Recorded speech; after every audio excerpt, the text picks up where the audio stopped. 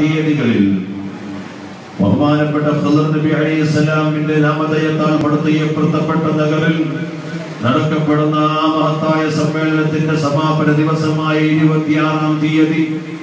നമുക്കറിയാം ഇതര സമ്മേളന വേദികളിലൊക്കെ നമ്മൾ ചെന്നാൽ ഉദ്ഘാടന ഉദ്ഘാടനം കഴിഞ്ഞു. മുഖ്യ പ്രഭാഷണം എന്നുള്ള ഒരു പ്രഭാഷണം കാത്തു കാത്തുകൊണ്ട് അത് കഴിഞ്ഞാൽ എല്ലാം പിരിഞ്ഞു പോകാറുണ്ട് എങ്കിലും നിങ്ങൾ ഞങ്ങൾ ശരിക്കും ഇർഫാനിയയിലേക്ക് ചപ്പാറപ്പടവിലേക്ക് സുന്ദരിയ നഗരിലേക്ക് അതിനെല്ലാം വളരെയധികം വിഭിന്നമായി ഉദ്ഘാടന വേദി മുതൽ അവസാനം സ്വലാത്ത് ചെല്ലുന്നത് വരേക്കും.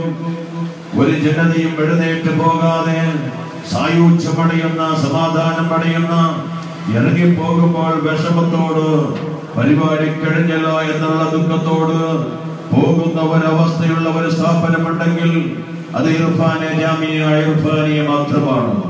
നമുക്കറിയാം ഇതര സ്ഥാപനമുണ്ടെങ്കിലും ആ പരിശുദ്ധമായ സ്ഥാപനത്തിന്റെ കവാടങ്ങളിലേക്ക് കയറി ചെല്ലുമ്പോൾ നമുക്ക് ചില മുന്നറിയിപ്പുകൾ അവിടെ കാണാറുണ്ട്. മുന്നറിയിപ്പുകൾ മാത്രമല്ല മുന്നറിയിപ്പുകൾ പ്രാപത്തിൽ അഥവാ ജീവിതത്തിൽ കൊണ്ടാടാനും അത് ജീവിതത്തിൽ നടപടി നടപടിയായി എടുക്കാനുമുള്ള അത് എടുക്കുന്ന ആൾക്കാർക്ക് മാത്രമേ പ്രവേശിക്കാവൂ എന്നുള്ള ചില സൂചനകളാണ് അവിടെ കാണുന്നത്. അവിടെ തീവ്രവാദത്തിനോ ഭീകരവാദത്തിനോ ഒരു സ്ഥാനവുമില്ല എന്ന് മാത്രമല്ല അതുപോലെ തന്നെ കല്ല് അതുപോലെ തന്നെ കഞ്ചാവ് തുടങ്ങിയ ലഹരി വസ്തുക്കൾ എന്തൊക്കെയുണ്ടോ അതൊക്കെ ഉപയോഗിക്കുന്നവർക്ക് പ്രവേശനമില്ല.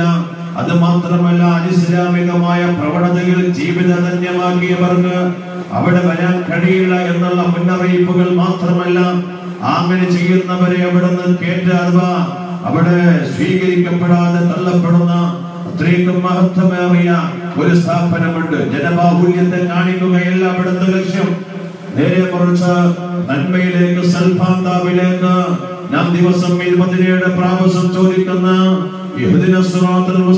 എന്ന വഴിയിലേക്ക് ആ സത്യപാതയിലേക്ക് സമുദായത്തെ നയിക്കുക എന്നുള്ള അഥവാ പ്രവാചകർ തങ്ങൾ കാണിച്ചു തന്ന അതേ ദൗത്യം അതിന്റെ വെള്ളിപ്പുള്ളി തെറ്റാതെ കണ്ട് ജീവിതത്തിൽ പകർത്തിക്കൊണ്ട് മറ്റുള്ളവരുടെ ശരീരങ്ങളിലേക്ക് ജീവിതത്തിലേക്ക് പകർത്തി കൊടുക്കുന്ന ഒരു പ്രവണതയാണ് മഹാനായ ചപ്പാറപ്പട ഉസ്താദ് അവർകൾ നേതൃത്വം നൽകുന്ന സ്ഥാപനത്തിൽ നടന്നുകൊണ്ടിരിക്കുന്നത്.